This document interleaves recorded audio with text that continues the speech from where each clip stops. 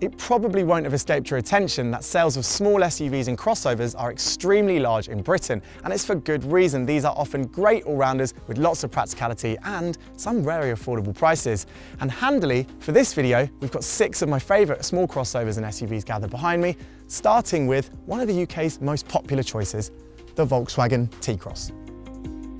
Okay, yeah, we're not exactly starting with the most attractive car of the bunch. This T-Cross is pretty conservative when it comes to design, but it does share many parts with its siblings, including the Polo and the Golf, and that's a good thing. Under the bonnet, you've got a one litre TSI engine in this car. It gets you close to 60 miles per gallon combined, which is pretty good going for a petrol engine. That means it's punchy and affordable to run, and also very functional, and no clearer is that than in here. Now, anyone who's driven a modern Volkswagen will find a lot of familiarity in this T-Cross interior. It's very functional, as is the Golf and Polo. This car, being an S model, doesn't get the top grade digital instrument cluster that you get in higher spec cars. It's got two analog dials, but you do still have a small digital screen with everything you're going to need to know while you're driving. Miles per gallon, how many miles you got left in the tank. It's all very effective and very useful. You do, of course, still get a touchscreen infotainment system in the middle here. And I have to say, while it's not the flashiest one on the market at the moment, and certainly not the flashiest one even in the Volkswagen group, I think it's one of the most effective. It's very fast to respond. It's just simply simple and easy to use, and everything works really well. I also am very happy that this car has manual controls for the climate control. It means you've got knobs and buttons to press rather than fumbling around in your infotainment screen here. Now, this car, being the 95 brake horsepower model, 100 horsepower give or take, it has a manual gearbox and it's a five-speed gearbox, which you might think means it won't do particularly well on motorways, but actually this three-cylinder engine settles down very, very well. We know it from so many other cars, so I wouldn't be too put off by the fact that it doesn't have a six-speed. Elsewhere, you've got storage space down here, USB port here, really wide cubby holes in the doors, cup holders, and a bit more storage down here. And look, oh, a manual handbrake. Don't see many of these very often, do you? Now, in the back, it's actually very spacious. This is effectively a hatchback on stilts, but it means you've got a lot more headroom than you would in a conventional hatchback. And the legroom here is actually very good. I'm only just under six foot. The seat is as I'd have it, and I'm very comfortable here. I've got lots and lots of knee room. Also, these seats are pretty wide. It means You've actually got quite a wide middle seat here. You could probably quite comfortably carry three teenagers. Maybe if I was a fully grown adult, I wouldn't want to spend a long time here. But come on, this is pretty good for what is effectively quite a compact crossover. Also, I should say the ride in this car is really good. This is a passive dampered car, means you can't change from comfort to sport for your damping, but it rides really nicely, even in the back here.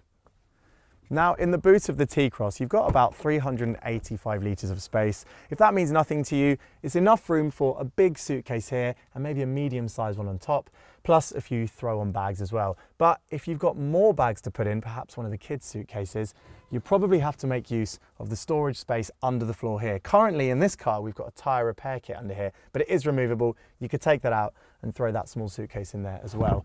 So it's not the biggest boot, but actually when it comes to this class, pretty competitive.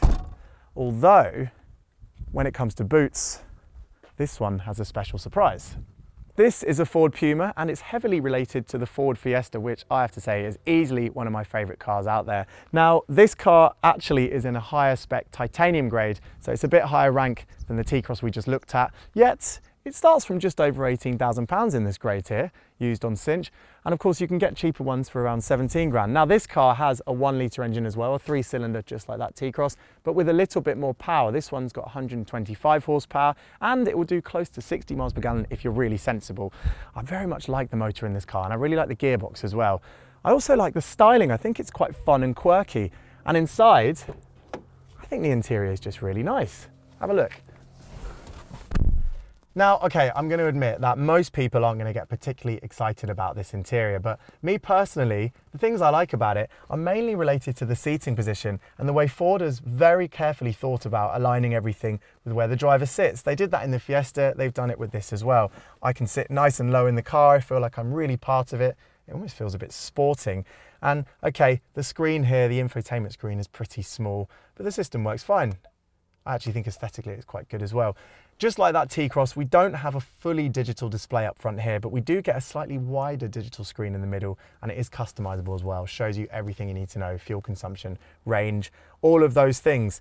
Now, as I mentioned earlier, the six speed gearbox in this is really good. I think it's nice to use, it's easy, it's just a nice feeling that you get through the gearbox when you're driving the car and it goes well with that punchy motor.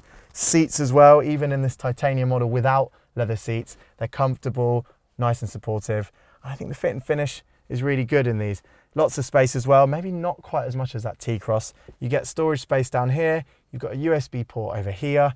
Okay, the cubby holes in the doors aren't as wide as you get in the Volkswagen, but you've got a couple of cup holders down here. And if I lift this armrest and I remove this little bit of trim out of here, you've got quite a lot of room in there. Oh, and look, there's another USB port as well. Now, I said I really like the way this thing drives, but I have to admit, if you're a passenger in the back, it's pretty cramped. In fact, I've got the seat as I like it set here, and yes, I can tuck my legs under here, but there's noticeably less knee room up here than there was in that Volkswagen. Same goes for headroom. It's not too bad in terms of headroom directly above me, but when it comes to the stuff on the sides here, it's a little bit more cramped. Nothing too bad, but that T-Cross definitely felt a lot more spacious. And it's true as well for the middle seat here. It's noticeably narrower. Again, you wouldn't have any trouble getting three teenagers in here for the school run, but on a longer drive, this seat's definitely a lot smaller. But the party piece of this car is in its boot. So when you pop the boot of the Puma, you might be surprised to see that it doesn't look like there's that much space. In fact, it looks considerably smaller than the T-Cross, despite the fact that on paper, it's supposed to have more room. And the reason for that is very simple. You've got two layers of boot space down here, and actually when you drop the floor lower, it opens up a lot of extra room. So much so that I reckon you'd get a full-size suitcase in here, plus a medium size, and maybe even that smaller child suitcase on top. You might even be able to squeeze in a couple of throw-on bags as well. And it gets better because if I take this out, you'll find yourself an 80 litre mega box. And not only is this a storage area where you can throw in, I think probably quite easily a child's suitcase, but also if you move this rubber lining at the bottom, you'll notice that there's a little plug hole down there. And that's because this is a waterproof section. It means you can throw wet wellies in there, your swimming costumes, your towels, maybe even a wet dog if you brought them back and they've jumped in the pond. And it means you can hose it out after and then open that plug hole and let it drip through to the floor underneath. Genius! Next up, we've got the Skoda Kamiq, which in this spec here, with just over 5,000 miles on the clock, costs not much more than 15 grand. So this is the value car here today. It shares a lot with that T-Cross, which means it's got really good underpinnings, including that three-cylinder engine with about 95 horsepower. It will do well over 50 miles per gallon on a run. But crucially, what matters in this car most is the fact that you get a full-size crossover for not much money at all. And inside, there's lots and lots of functionality. Now, not surprisingly, what you've effectively got in this Kamiq is a dressed down version of the interior you find in the T-Cross and other Volkswagens. But of course, it's still very functional. You've got two analog displays ahead of you and the same small digital screen in front of you as well. In the middle shows all those essential details. You've got an infotainment screen here, but it's actually quite noticeably smaller. But come on, it actually works fine. I mean, everything on this is reactive and quick. And because you've got manual buttons here as well, in many ways, it's actually easier to use than some of the other stuff on the market. You've got a proper volume control knob, for example, and these climate control buttons down here and knobs, all manually operated. Again, we've got a five-speed manual gearbox to go with that three-cylinder engine, but it's still a relatively new model, this Kamiq, so they've got USB-C ports down there. You do have a couple of cup holders here, Interestingly, the cubby hole down here is a little bit smaller than the one you get in a T-Cross, but there's still plenty of space in there for, say, a reusable water bottle. And you've got a bit of space down here as well. Nice and comfortable, loads of room. It feels very airy up front here. I think you might do in the back as well. There is loads and loads of space in here. Look at that. I've got the seat set as I like it, and yet here I am, tucking my feet under here. I've almost got my legs well, not straight, but they're pretty stretched, aren't they? That's very, very comfortable. And I've got lots of headroom as well to the side as well. And this middle seat, just like that T-Cross, is pretty wide. Very spacious in here. And even these seats as well, when you sit back in them, they sort of bucket around you on your lower back and your, your upper back. So there's loads of space in here. This is definitely going to be a nice car to spend a long time in, even if you're sat in the back here. In the boot of this Kamiq, surprise, surprise, It looks a lot like the T-Cross, which is no bad thing. Good amounts of space down here. You'd easily get a full-size suitcase down here with another one on top. Interestingly, this car comes under the floor here with an actual spare tyre. You don't see that very often these days. I think that's very Skoda, isn't it? They give you the proper thing. So it means you do lose a bit of potential storage space down there, but I'm sure a lot of Skoda drivers, especially those who do long distance driving, will very much appreciate the fact that you've got a proper spare wheel in this car down here. So it's very practical, very functional, and great value for money. This is the Peugeot 2008. So if that Skoda was our value for money offering, this thing here, well, it's definitely one of the more premium cars here. This actual car here costs from just over 23 grand, and that's because it's in high spec allure trim. Look at that shade of paint, really nice. The whole fit and finish on this car is pretty posh. But you can get 2008s for not much more than 10 grand on Cinch. But when it gets to the later models like this in this spec, it's over 20k and it's very much worth that money. This, I should also add, is a diesel model. You can, of course, get petrol cars, but this particular car is an HDI diesel model, which means it does well over 60 to the gallon on a run and it has over 100 horsepower and quite a lot of torque as well, so it's very punchy. I actually think the design of this car could really lure you towards it. I love the features on the front and the back, and inside, they've really gone to town on that Peugeot look.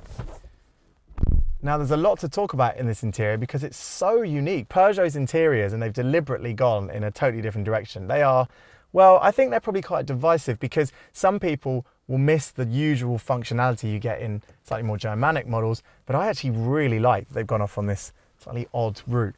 Firstly, the steering wheel is tiny. This is not much bigger than the steering wheel you get in a Caterham sports car, yet here it is in a crossover, and it comes sat in front of a really slim but fully digital, this is a posh model, don't forget, fully digital instrument cluster up here.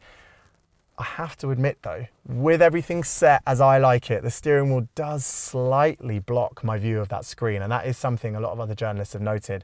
But if you sit a bit more upright, a lot of crossover drivers do, you can see over it quite clearly. Something to note, if you're trying one of these cars, best to get sitting in one first.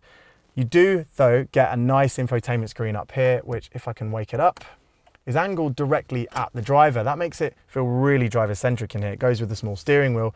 And the screen itself, nice and easy to use. I quite like the graphics. I have to admit, it's not the fastest responding out there, and it's probably not the most intuitive. But I think once you get used to it, it goes with the theme of this car. Same goes for these buttons down here. Look at that. It's almost like fighter jet or sports car-esque. Really like them. All right, not quite as easy to use as the twisty knobs you got on the earlier cars, but I think once you get used to them, at least they're proper buttons. And interestingly, you get a conventional USB port here and a USB-C port down here, loads of storage around here. You even get a little section that you can hide stuff away in there. Cubby holes, everything you'd expect. Not masses and masses of storage space, quite small cup holders and a little bit down here but it's actually quite nice the way you're cocooned into this interior. It really does feel quite sporting. Now, because this is quite a posh model, instantly when you get in the back, you notice that there's been a big lift in quality compared to the other cars because you've got part leather on the seats and straight away I've noticed there are two USB ports down here as well. So when it comes to offering the most value and the most feeling of comfort in the back, I think this car feels really strong. However, I have to note, while there are some strong points in terms of space, Loads of knee room here because of the way this seat is pushed in and you've got a little bit of stitching there to hold it tight.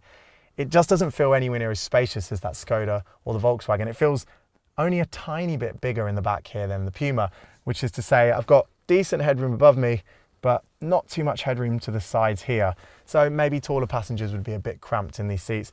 The middle seat is a bit wider than the one in the Puma, but certainly not as wide as the ones we had in the Skoda and the Volkswagen. So again, Three teenagers on the school run, no problem. But an adult in that middle seat and a longer drive might get a bit tiring. And you're going to kick those USBs as well, aren't you? As for the Peugeot's boot, quite an interesting one because Firstly, there's a good amount of space in here, 434 litres. Again, that's about enough room for a big suitcase, maybe a smaller one. You might struggle to get the kid's suitcase on top of that, but there's more room under here, and this is where things get interesting in this boot. This floor can be clipped up like this here. So you can have the boot divided into two halves. It's quite impressive actually. It means you could have your shopping in here and maybe your grandmother's shopping in there. Don't get them mixed up, you know, God forbid that would happen. And then you lift up this bit of floor down here and there's a little bit more room down here. Like the other cars, there is actually some stuff in here, but it's all removable. This is your tow kit and a tyre repair kit. but you can take it all out if you don't want it. And then you do get a little bit more room down here. Nowhere near as much as you get in that Ford, but quite handy. And also, this floor does fit into two levels, if I can get it to do it now. There you go, goes a bit lower. And you've got some storage bits down here as well.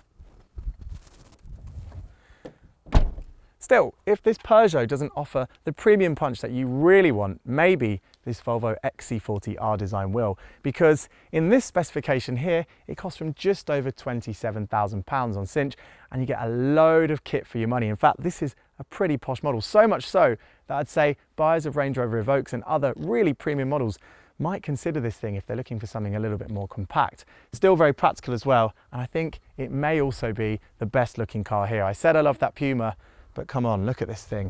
It looks excellent, doesn't it? Pretty nice inside as well. It's absolutely lovely in here. It really feels very premium, you know, comparable to a Range Rover Evoque or something like that in terms of glitz and just fit and finish. The materials are all quite nice. Okay, some harder touch plastics around, but everything's really well put together. And it actually feels really technically advanced because you've got a fully digital instrument cluster ahead of you here. The dials are really crisp and sharp. It looks very nice. I love the steering wheel. It's nice and simple, very Volvo with its slightly blocky center. And the most impressive thing I think actually about what's up front here is this infotainment system. It's maybe not as easy to learn to live with as the Volkswagen Group stuff, but once you get the hang of it, I think it's possibly the best one here. It's certainly the fastest to react and respond, touchscreen-like responses on the finger, on the screen, and the menus and everything are really aesthetically pleasing. And then you still get buttons down here for your volume and your radio controls, etc. So it's still very nice. But you do, of course, have to go into the screen to adjust your climate control. Not the end of the world, but some people don't like that stuff. You've got a manual six speed to go with that diesel engine and there's a nice gearbox in this car. That engine's very punchy, it's quite lazy if you want it to be, so you don't really have to work this gearbox very hard. The car will just motor along at low revs. When it comes to the practicality, nice spacious seats, loads of room around me, decent side cubby holes down here, cup holders as well, and a bit of storage space under this armrest here. Actually quite a lot of storage space down here as well. And a single USB port down there. Actually, not as many USB ports as you get in those other cars, but really up front here, it feels very technically advanced. Now, in the back of the Volvo, it still feels really premium. It helps, of course, that you've got these part leather seats, good space, feet go under the front of the seat here, lots of knee room as well here. Certainly not the most, but pretty good. Lots of headspace up top. I can move my head around here, lots of room at top of my head and then to the side as well. And the seats themselves feel really wide, nice and supportive and cushioned. I don't think this middle seat's quite as big as the ones in, that we mentioned in the T-Cross and that Kamiq, but it's still pretty good actually, and it feels very premium. Also, one interesting thing is just how small these rear windows are. They are electric, of course, but it's a tiny square-shaped window. I think it's a design feature because you've got this upward angle here on the rear section. But if you like big windows, maybe you've got a dog that hangs out the back, they might find this little window a little bit annoying, but I don't know. Looks good on design, doesn't it?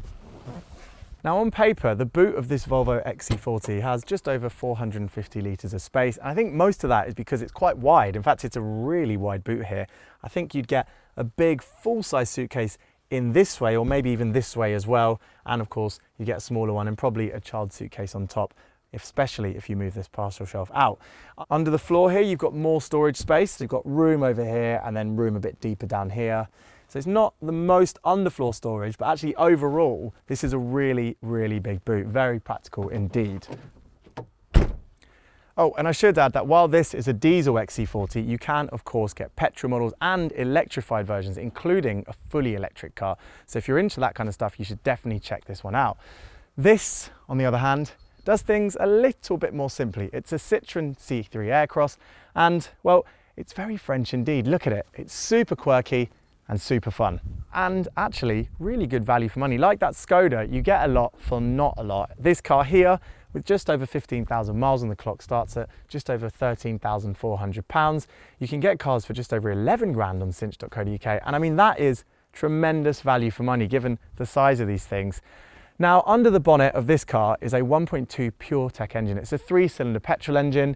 Citroen claims just over 55 miles per gallon, and you get about 110 horsepower. So, like the other cars here, especially the other petrol ones, it's punchy and relatively fuel efficient, and it actually sounds pretty nice as well. These three cylinders sound great. Quirky design everywhere, especially inside. Now, there are a few shared parts in this car actually with that Peugeot we spoke about earlier, and straight away I can see the similarity in the infotainment system here. But this is a much quirkier car. That car is quite premium, and as we said, it had a few unique Peugeot racy touches. This thing is just mad, it's just bonkers in here. You don't even get round dials for the instrument cluster. They're slightly squared off at the edges, and all the digits and dials come in this quite fun font. I think it's going to be quite divisive in terms of whether you like it or not, but certainly it's quite interesting. When it comes to the techie stuff, little digital screen in the middle between the two instrument cluster dials. The steering wheel itself gets a few buttons and this infotainment screen, not the biggest, but pretty clear and sharp. Certainly not the fastest to respond, but acceptably good. And then when it comes to actual space around me here, these seats are really big and very squared off. So it means they're actually really comfortable not much in terms of lumbar support or anything like that, but they're just really wide. I think all body shapes are going to be comfortable in this car. And you get a bit of storage space as well, really wide cubby holes down here. The only thing with comparable cubby holes is that T-Cross. This thing down here, you kind of get two cup holders in there as well to go with the ones you get up here. You've got a USB port down here as well. Uh, yeah, five-speed manual gearbox as well to go with that little three-cylinder engine. But like the earlier five speeds, the thing with these engines is they do settle down quite well. Okay, on the motorway, it's not going to be the most efficient and refined cruiser, but honestly, you won't really have much trouble unless you're towing a big trailer on the back. I have to say, I'm not entirely sure why we have to have such a big handbrake in this car. I guess they're trying to be quirky with it, but it's pretty massive. Look at that thing there. Although having said that, when you fold it down, it does clear up a lot of space down there. You've got a tiny bit of storage space down here. I think you can get a cup in there as well. So functional, quirky, very Citroen. In the back, it's a medium amount of space, I'd say. I can put my feet under the front seat, again, set as I like it up here. And I've got a bit of knee room as well because the seat is pinched ahead of me here. And actually the headroom is pretty good. But when it comes to the width, these seats aren't quite as wide as the other ones we've seen earlier. This middle seat is pretty wide actually by comparison. I think they're more even across the three rows. But again, I wouldn't want to be an adult sat in the middle seat for a very long time. No surprises there really. Fine for the morning commute though. An interesting thing that I've noticed about this interior is if I do this, I can actually slide forward this side of the bench and keep my seat back. I can do that in the opposite direction as well. As you can imagine, this thing can go forward, these can come back. And that means you've got a bit more versatility, a bit more flexibility in how you arrange the interior of this car, whether you've got smaller kids in these seats here and you need to put some bigger stuff in the boot, or the complete opposite, whether everyone's really tall and you want to sacrifice some boot space, which we can check out just now. So with those seats in an even positioning ahead. The boot here is actually not the biggest. In fact, it's about 410 litres of space, which effectively means you can get one big suitcase in here. And maybe if you took this parcel shelf off, you could get a medium sized one on top. There is extra space under here, however, not a bad amount actually, pretty decent. It's a bit thin, but it's quite wide. And if you lift this other layer of floor, you'll find your tyre repair kit and your actual uh, tow eye down here where there would be a spare tyre. If you remove all of that, of course, you're going to get even more room as well, more than what is quoted on the spec sheet. So yeah, very, very good value for money. You get what you pay for though when it comes to the space. But of course, as we've shown, there's so much choice in this class. Go on cinch.co.uk and you can find even more. This is a popular category for good reason. There's lots and lots to choose from. I hope you enjoyed this video. If you did, click that like button and of course, click the subscribe button because we have Rockingham Raceway and of course, we don't just drive crossovers. Sometimes we drive things that are very fast. Watch out for that. See you soon.